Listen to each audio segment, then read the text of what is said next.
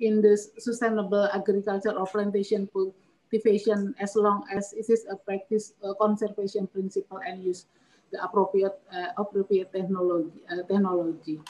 I think yeah, from my view, giving the increasing need for uh, network or cooperation between district and provinces, I think to tackle uh, some issues of the uh, Uh, in the uh, subnational uh, level, uh, I think this is the uh, the common understanding or, uh, should be delivered to the the local governance.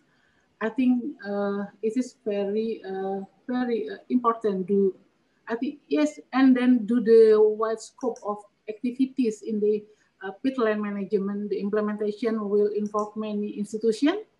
This requires uh, effective inter uh, institutional cooperation and coordination.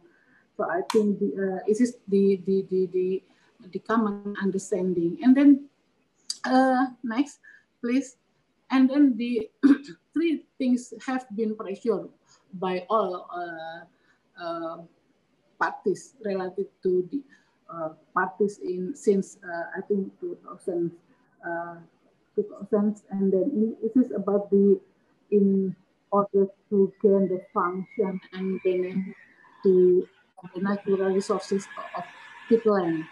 It is uh, necessary to have a balance between aspect conservation and sustainable use of this uh, area. Uh, this is condition can uh, be made based on the identification of the potency and existing obstacle with the approach with to the balance the needs of the conservation and uh, utilization. I think uh, as uh, Pak mentioned before with the criteria indicator, I think we we have to see with the uh, with this uh, situation under uh, yeah under under pressure to the local uh, government. Also, regarding the management and natural resources, including peatland, this cannot uh, be carried out by certain parties only. I think the the the, the rules not only uh, uh give for, uh, for the local government, but also for all party, uh, for all uh, parties. So, yeah, for me, cooperation between institutions is uh, the key. Uh, the, yeah, the current institutional frame uh, at the yeah both uh, the central and uh, sub-national level must be able to work together to increase commitment to sustainable peatland development. I think each institution is expected to develop participation and then work with the local uh, community with the community empowerment approaches, decentralization, uh, and manage system uh, management system development. I think, uh, yeah, uh, what uh, I see the the cooperation between institutions in the uh, peatland management it is, should be synergized and mutually reinforcing cooperation while still provi uh, providing the uh, work unit with independence in managing their uh, perspective uh, of the sector or the field. Um, cooperation uh, between institutions is uh, expected for the foster division of the rules for each uh, institution in the order to prevent duplication or program or even a struggle for role between institutions.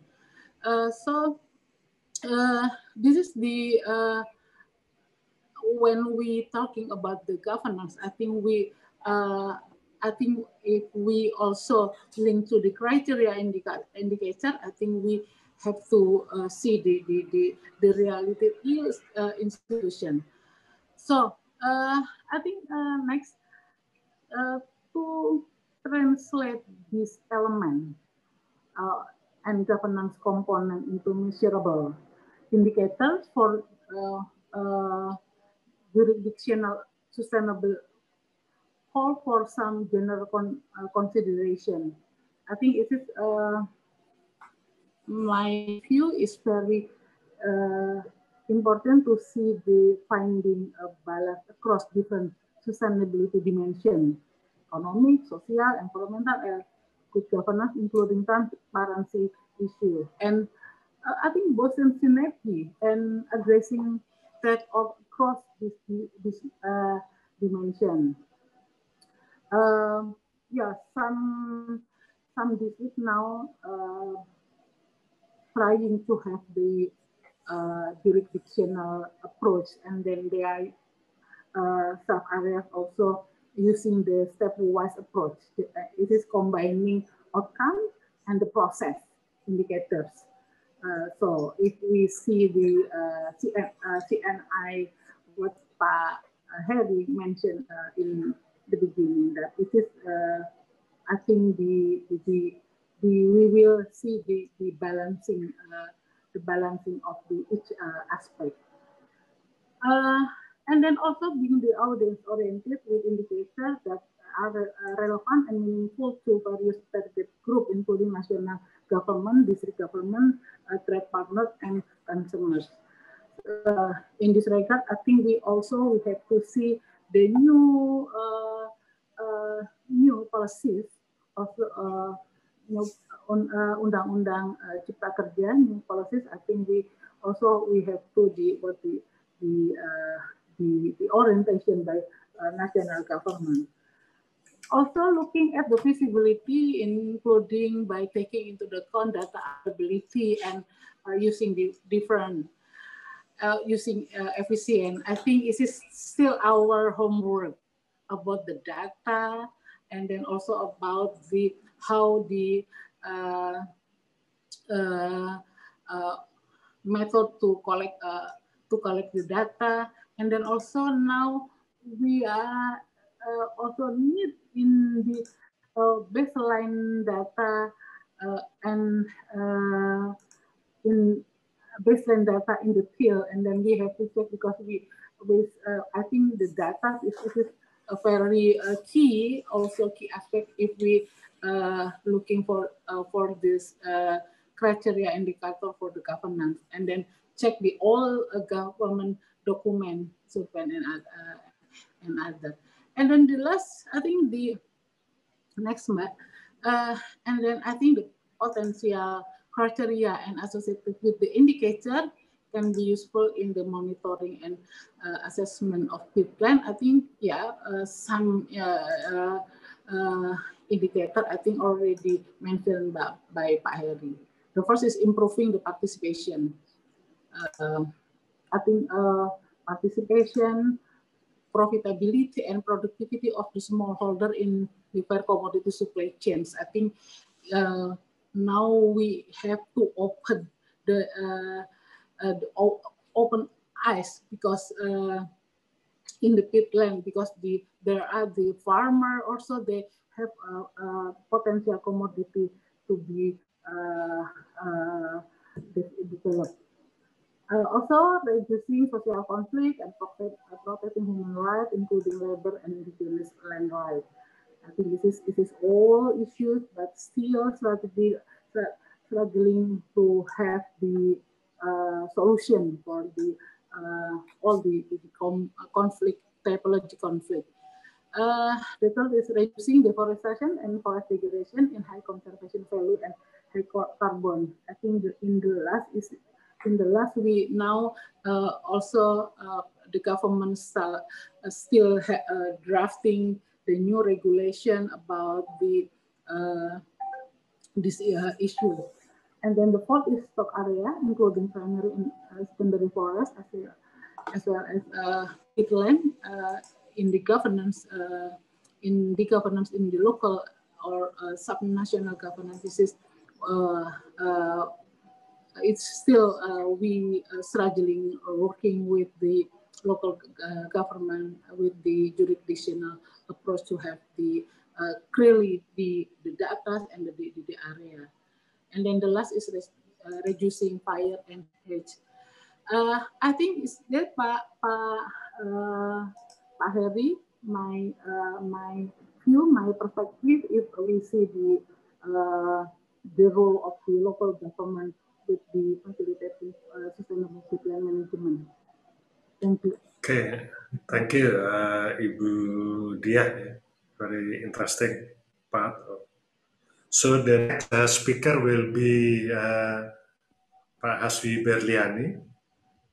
He will be talking about regulatory and policy measures to support peatland restoration. Silakan Pak Hasbi. Uh, thank you Pak Heri. Uh, I will try to share screen.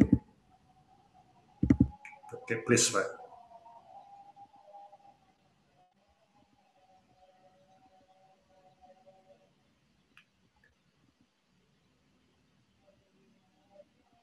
Is that already appeared? Yes. Okay. Uh, thank you, uh, Professor Harry. Uh, ladies and gentlemen, uh, webinar participants, very good afternoon. Uh, first, uh, I would like to introduce myself. my name is Hasbi Berliani. I work for uh, Kemitraan, an organization at the national level, working on promoting multi-stakeholder partnership in promoting good governance. Uh, I would like to thank uh, CIFOR, Pak Daniel Murdiyarso and uh, colleagues in CIFOR uh, to give me to share our experience uh, in the sessions. Uh, kemitraan uh, in last three years working closely with the BRG on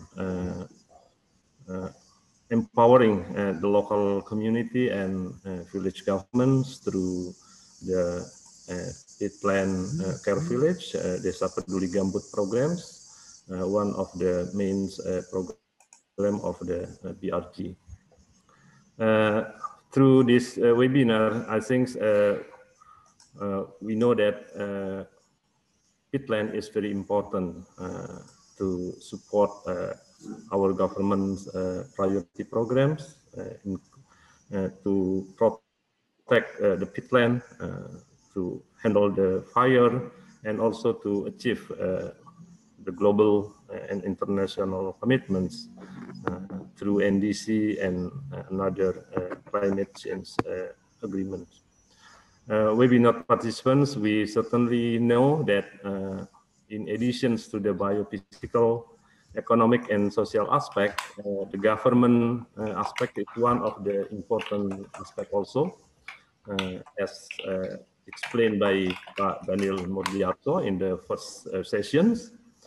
Uh,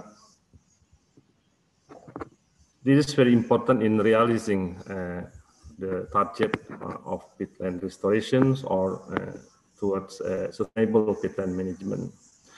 Uh, when we talk uh, about the governance, uh, I think uh, there are some principles. I think we are familiar with this, but from my view, uh, from the six uh, principles, uh, at the minimum, transparency, participants, and accountability would be very important. from my side, it is uh, the big uh, or the main uh, principle that we have to consider in in in achieving good peatland governance. In addition uh, to these uh, basic principles, also we uh, we know that there is some three pillars, main pillars in getting the good governance, namely governments, agencies, private sectors, and civil society. Uh, civil society also includes uh, CSOs, academicians, local community, media, indigenous people, and etc. Uh, but another uh, important issue, uh, if we talk about the governance, uh, is uh, the aspect of the govern governance. Uh, the governance not only talking about the policy and regulations, but it is very important to see the institutions framework, planning, and also decision-making processes. Uh, and also, it is very important to know uh, about the implementation and enforcement. So, uh, in in some cases, we have many policy and regulations, many institutions, but lack of the implementation and enforcement. So, the good governance should include the three main aspects, uh, the policy regulation, institution, and decision-making process, but also uh, for the implementation and, and enforcement. So uh, if we talk about the uh, criteria and indicators uh, in uh, peatland restorations, I think a, a, comprehensive criteria and indicators would be very important in guiding us to realize the good peatland governance, including peatland monitoring. Uh, but uh, we have to consider uh, the basic principles uh, in, in creating the criteria and indicators, and also ensuring an effective engagement of all stakeholders in the process, and also covering uh, all aspects, uh, as I mentioned, policy regulations, institutions, and also its implementation and enforcement. So from this uh, point of view, from our uh, from our experience, uh, I propose to, uh, as requested by the committee, uh, I propose some uh, criteria and indicators. I try to put some criteria and also indicators Uh, that can be useful uh, in, in this presentation, but uh, indicators, I try to uh, propose some or more specific formulations, but from the from the main session, I think uh, some indicators also can be adjusted to to to the generic uh, formulation, and then we can also adjust it to the more specific uh, if needed. Uh, the first criteria uh, I propose is stakeholder participation in policy regulation, formulation, and development. So uh, some indicators I propose, uh, like a number of public effective public consultations organized together and accommodate input from all stakeholders at all levels. So if the government uh, uh, propose uh, initiate some regulations, it is important to know how about the effective or, public consultation they organize from national, subnational, and local level. Uh, I also propose another indicators of a number of stakeholders, representatives attending public consultation. It is very important uh, because uh, we have to consider uh, to ensure that uh, all stakeholders from indigenous peoples, from marginalized peoples, from the local peoples uh, can uh, can participate in the processes, not only from the national and uh, the government sides. The third indicators I propose is availability of space and procedure mechanism for public participation. The, it should be Uh, uh, uh, endorsed or supported by some procedure or mechanisms. The second criteria I propose is transparency. Uh, transparency in providing information and progress and ensuring also access for all stakeholders to that information. Uh, we have, uh, we, in, like in Indonesia, I think the Ministry of Environment and Forestry and also BRG already already uh, try to make uh, available information uh, of uh, the progress of uh, peatland restoration. Uh, but it is also need to to make regulations also that ensuring easy, fast, and cheap access to the information.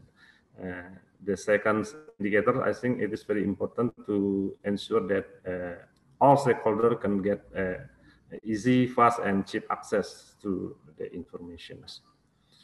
And then the third criteria I, I propose is public accountability of the government agencies and related stakeholders on performance of peatland restorations. The first indicator is availability of information uh, on performance of government agencies and other stakeholders. Other stakeholders, uh, I, I mean that uh, it is uh, possible also for private sector that uh, that manage the concessions and also they have a mandate to uh, peatland restoration. They have also to share their information on their performance and also availability of effective mechanism on public reporting Eh, and also a mecha mechanism for uh, com complaint handling mechanisms. The governments will already have, like in Indonesia, the government have already had a complaint handling mechanism, but it is not too effective in the implementation. I think it is important in, in the future we try to improve this, uh, this criteria and indicators. I think uh, the criteria and indicators, uh, uh, it is it is my proposal, then we can discuss further in the discussions. Thank you very much. Okay, uh, thank you, uh, uh. So the next speaker will be uh, Pak Dwi Muhtaman. Please answer, guest uh, for five minutes, so we have time for discussion. Okay, Pak Heri, uh, can can you open my share? Yeah, can you do? Okay, got it. All right, uh, my thought today is uh, related with the criteria and indicator participatory governance in peatland restoration.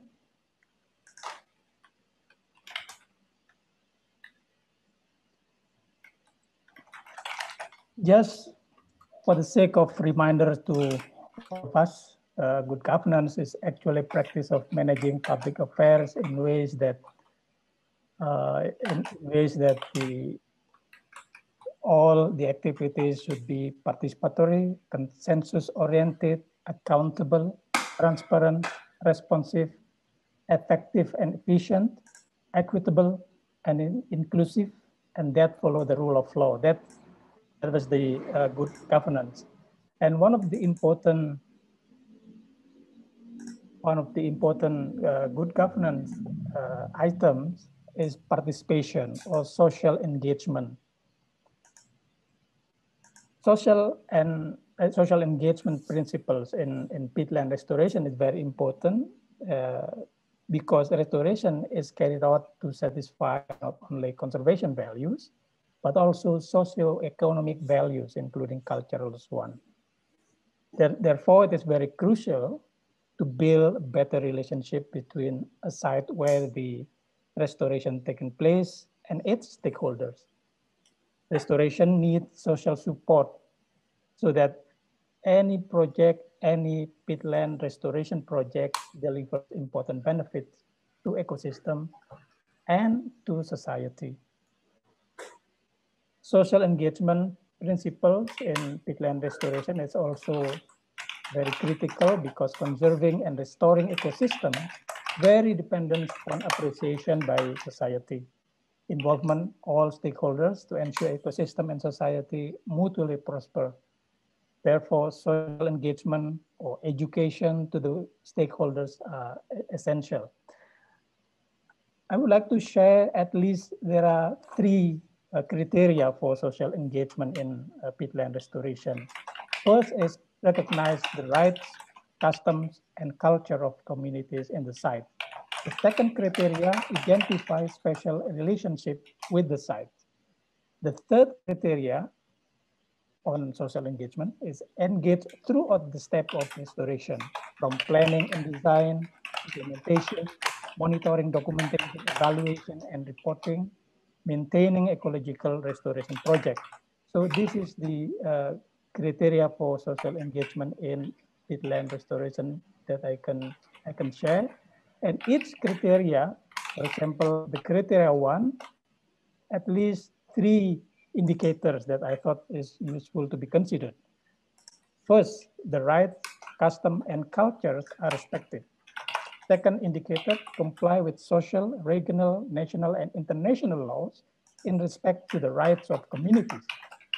The third indicator, free and prior informed consent, or FPIC, is granted before restoration activities started. The second criteria, identify special relationship with the site, consists of three indicators. First indicator, sites of special cultural, ecological, economic, religious, and spiritual significance are identified. The second indicator, measures to protect such sites are agreed, documented, and implemented accordingly.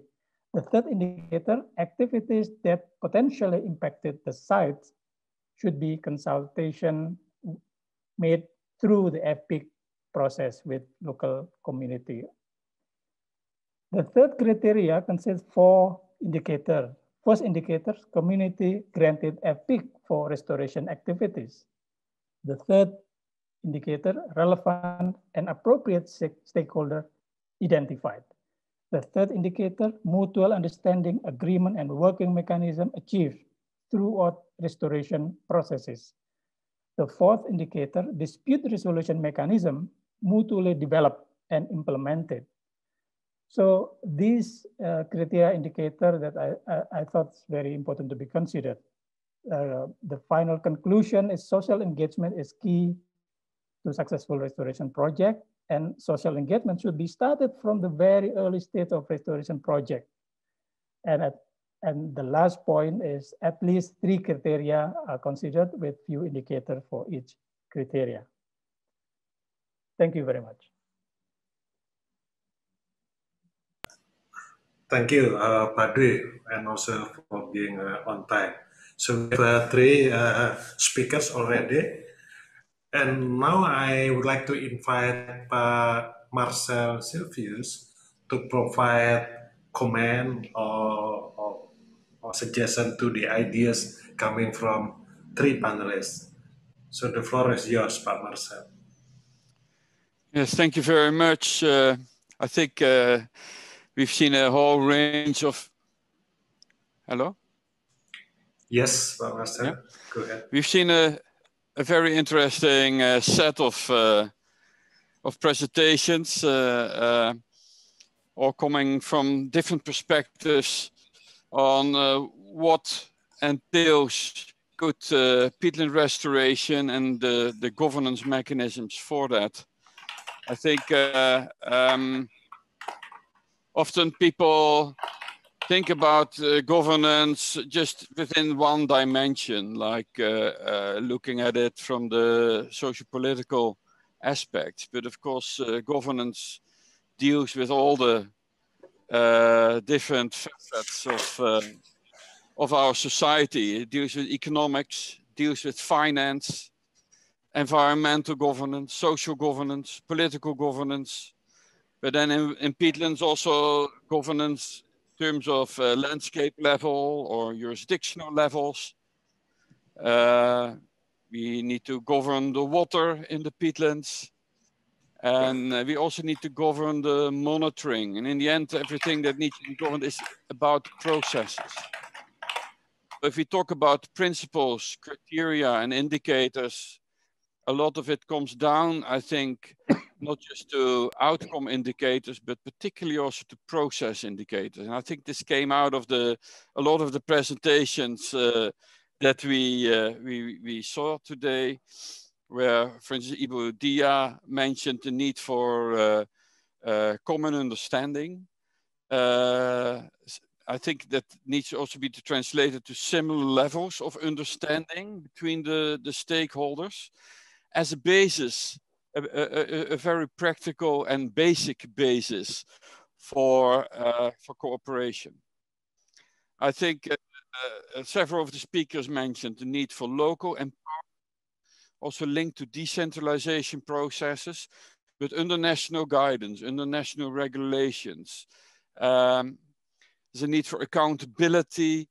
Uh, so again, a lot of process-oriented indicators that uh, identify whether or not we're on the right track. Um, I think a lot of scientists think more about outcome oriented indicators, whereas I think if we talk about governance, it's the process that counts. Uh, a lot of the speakers mentioned we need to have the transparency in uh, in the processes uh, and uh, we need to have the consultation process from the outset. Um, I think if you talk about consultation, it's not just consultation in the beginning of the process.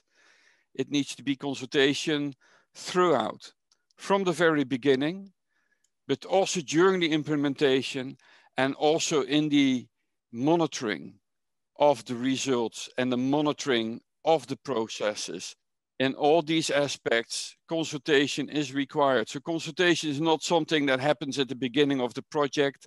Consultation is part and parcel of proper governance, part and parcel of successful implementation. Without uh, consultation throughout the process, the project will fail. That's, that's I think, a given. Um, so to be able to come to a, a, a, proper governance of these processes, one of the first steps that needs to be created and needs to be made is to come with all the stakeholders to a common vision. And we all know that every stakeholder group has different uh, ideas, has different priorities, different needs and requirements. So to come to a common vision is very difficult. But I think in peatlands, there are a few items that are very clear where there needs to be a common interest. And that is, for instance, the prevention of disasters, such as fire and haze. Uh, um, the, we want all to have a productive landscape, one that provides profits, that provides livelihood, that provides a basis for our economy. I think uh, there are common common ideas, and uh, so on these points, I think even between the stakeholders, where a company may have a different perspective than a local community, I think there are certain commonalities that we can build on in the development of the common vision. Um, but it needs to start also on a basis where stakeholder groups can have an equitable position in the processes. Uh, and where, and, and this is defined by simple items, which for instance, I haven't heard today yet, like uh, land tenure. We all know this is extremely important. I think it, it is included maybe in uh, Pak Dwi's mentioning of rights and indigenous people. So rights-based, a rights-based approach. But it starts with a government granting rights, clear rights, to the stakeholder groups, including to the communities in, for instance, uh, or through, for instance, land tenure. This land tenure needs to be clear and it needs to be long-term. And that provides a basis for consultation and for, for fair uh, negotiation. I think uh, uh we need to have clear commitments we need to work towards clear commitments from all the stakeholder groups. And again, they need to be, these needs to be, need to be arranged around the common goals. Uh, we need to have clear planning processes that are well coordinated. Uh, the science base needs to be brought in, but also the local knowledge needs to be brought in to the planning. Um, and then I think on basis and through these processes, we can come to a definition of what appropriate restoration is. Because restoration means so many different things for different stakeholder groups. Uh, what is appropriate restoration in, in the peatland? Is it just restoring the environment? I think uh, uh, uh it was mentioned by some speakers, no, it's not just the environment. It, particularly, I think it is restoring the productivity of the landscape, restoring its capacity to serve the economy, to serve the local livelihood. Um, and then in relation to those re societal requirements, I think we need to define whether or not we need to go to partial rewetting of a peatland, partial reforestation, or full reforestation or full rewetting. That all depends on, on the perspective of the stakeholders. In terms of commitments, we also need to have longer term financial commitments. And again, the, the finance field is rife with different views and different needs and criteria. And there are many players in this field from institutional finances, uh, impact finances or investors, uh, national and local banks, international finances, the government that comes in, the local communities that provide finance and provide uh, uh equity also through their own involvement. Even it may not even be in, in terms of dollars, but it can be in terms of time. That is finance as well. Um, and then when we talk about local communities, we need to take the gender aspects into account, where within the communities, uh, there is a lot of differentiation as well in terms of perspectives and views. So we must ensure that all different parts in the community can have their say in the processes as well. So women must be enfranchised in that process. Uh, other uh, vulnerable groups in the communities need to be brought into the planning and we need to see how we can bring them into uh, a uh, into the processes where they can benefit from uh, from the the landscapes that we are uh, aiming to restore. Um, so I think that that sketches a whole realm of governance items that we need to take into account when we talk about peatland restoration.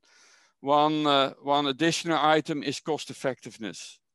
Uh, we can talk about all kind of nice things that we want to achieve in the landscape, but there must be, it must be cost effective. And one of the things that uh, many stakeholders always look at is uh, it must be cost effective in the sense that I must be able to make a profit out of it. And that is a very powerful argument. But I think there is also, there needs to be the recognition of the common, common values in peatlands where uh, they provide ecosystem services to uh, our society at large.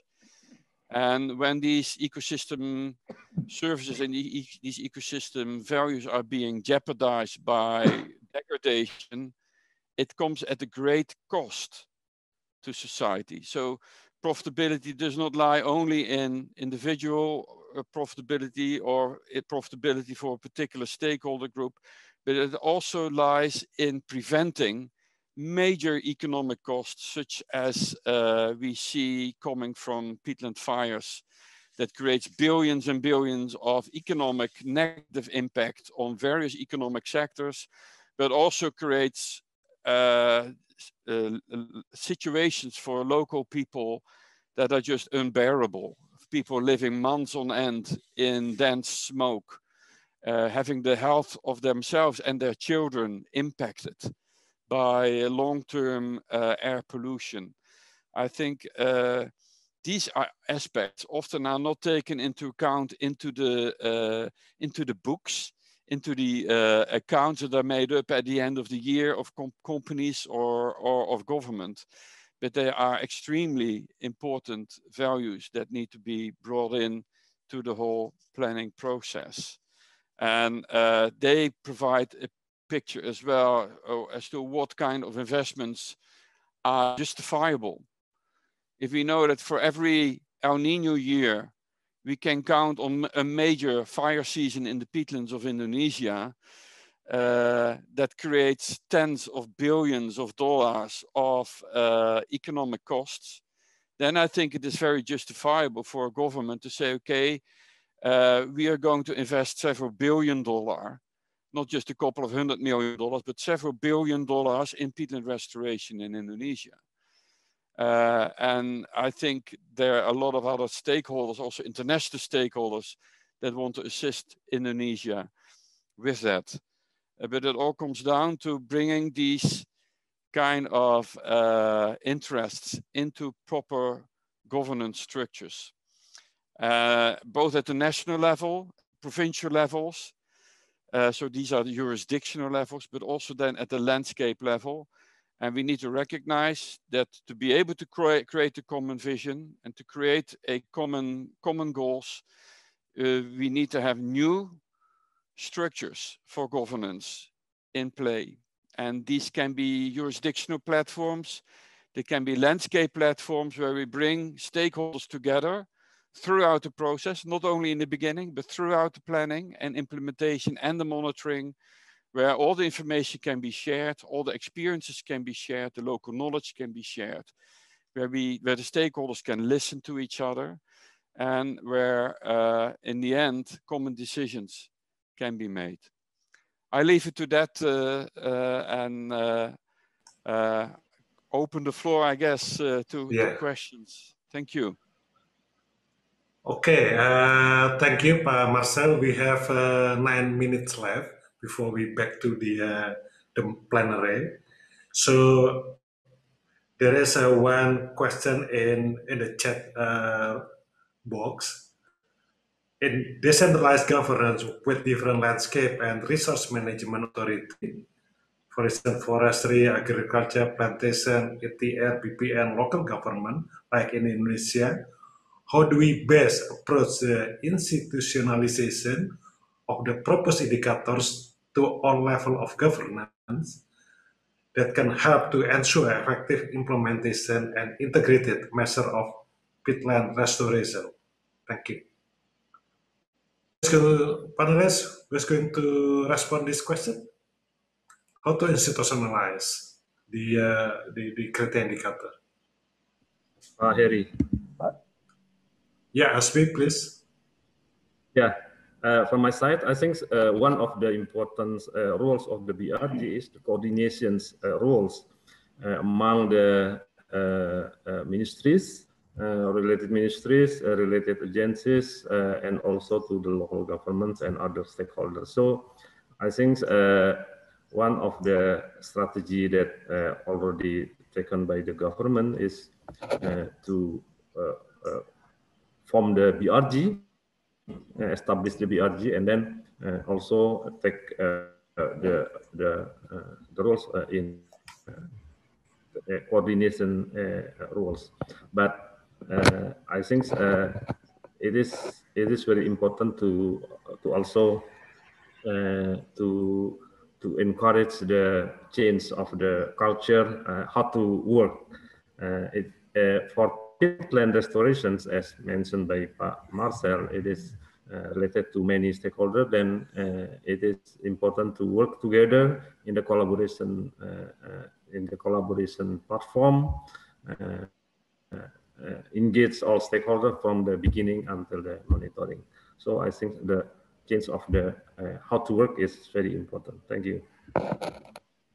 Okay. Um... Yeah, I, I would like to add what has been mentioned, um, I think the process of development of criteria indica indicator should be multi-stakeholder processes.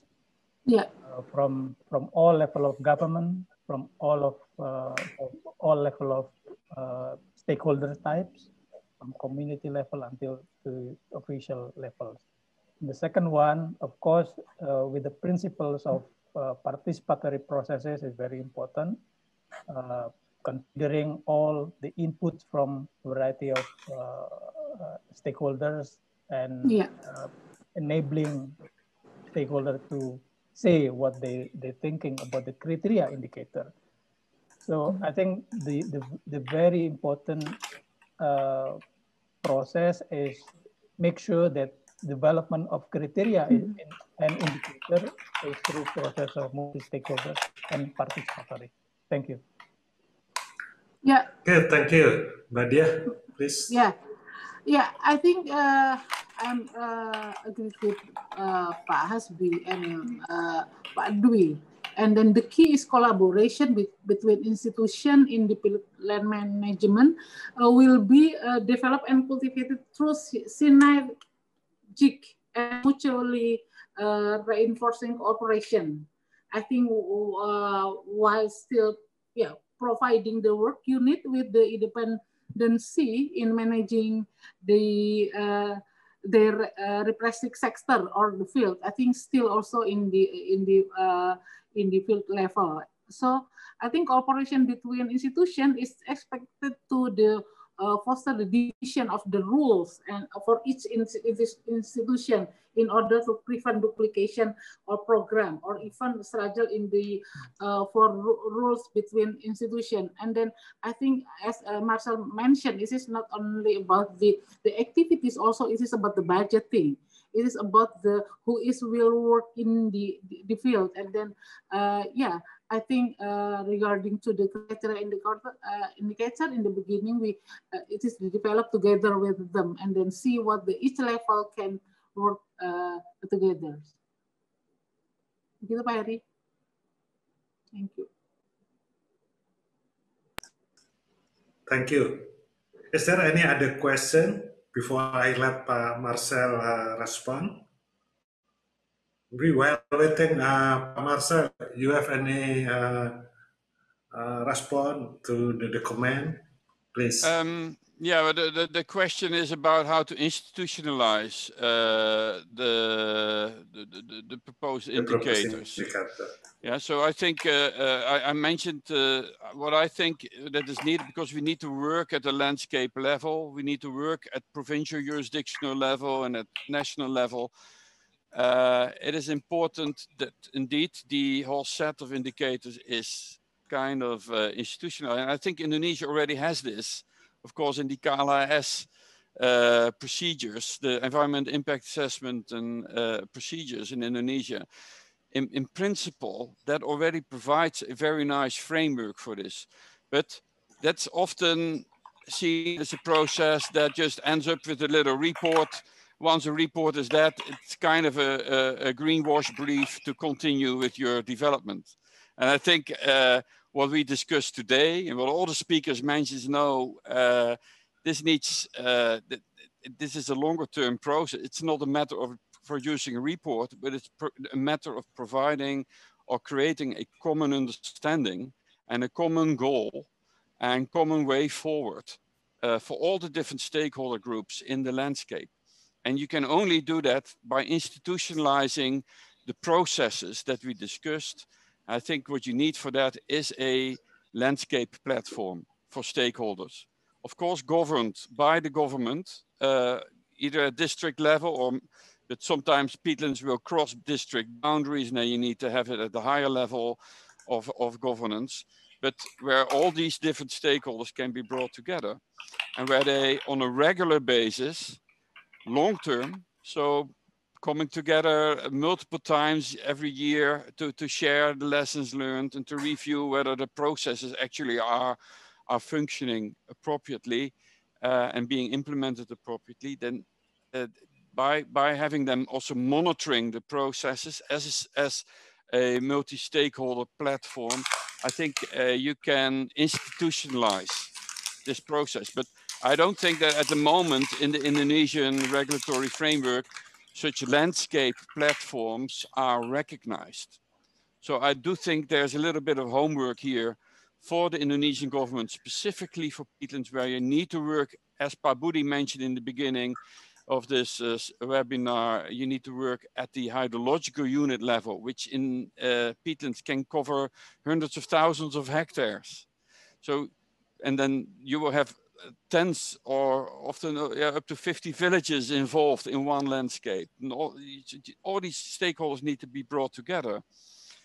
Um, so how do you do that? What, what structure could the government provide uh, linked to the current uh, uh, regulatory uh, frameworks, uh, but what additional aspects are required to enable due recognition of such uh, stakeholder processes in the in the planning and in the decision making, as well as in the monitoring.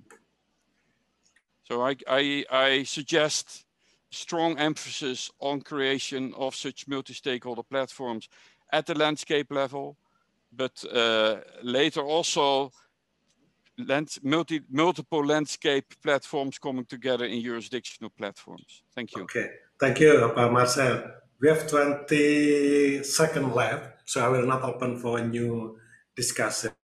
So I will, uh, Sonia actually uh, provide some wrap up. So I'll uh, read it during the plenary.